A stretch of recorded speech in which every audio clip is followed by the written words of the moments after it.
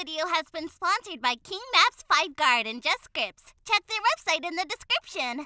Hey guys, welcome back to another video. I hope you all are good. So today in this video, we are going to install Breathalyzer script in our FiveM server. This script mainly work with ESX and QBCore framework and this one used for police officers to identify the people who used to be like uh, drink alcohol or drugs like that. So they can like use their device to identify how much level they drink. So we are going to install this script. So if you found this script helpful you can you can subscribe to our channel and share this video to your friends. I'll mention the links in the description box so you need to just go there. And right here we have a script from bs script development so first we need to download it from their github profile. After downloading we need to simply just open it and extract this file to our resources right here. Then we have to simply just rename this and go to its installation folder. So this one is for esx so just delete it. And this one is items. So we need to copy all of it except readme and just cut it paste it in your inventory html and images. Then we have to go to qb qb QBCore shared and items.lua file. Then we have to go to installation folder again.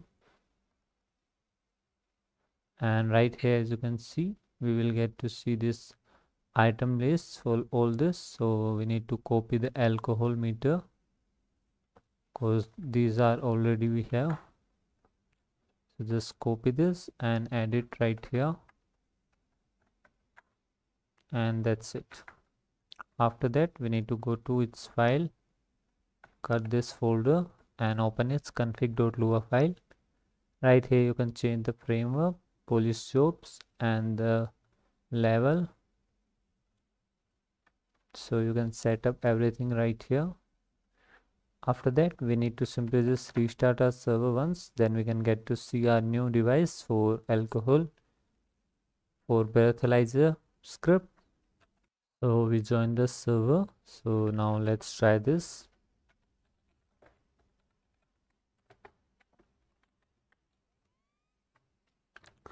so first we need to spawn these items. Alcohol meter.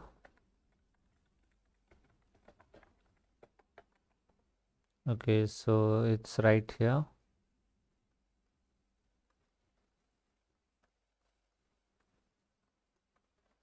Now we have to spawn the alcohol things. Alcohol beer give item 1 beer 1 whiskey.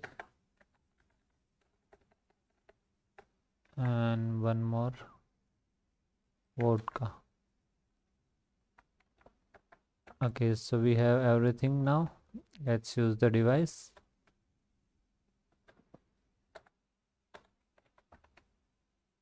okay i think we don't have the pd job. Yeah.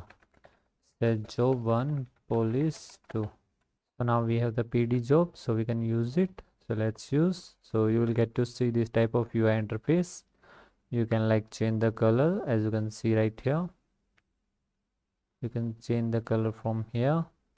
This is where the levels so this is where we have to start this and this is where we have to use this so it's saying there is no one nearby.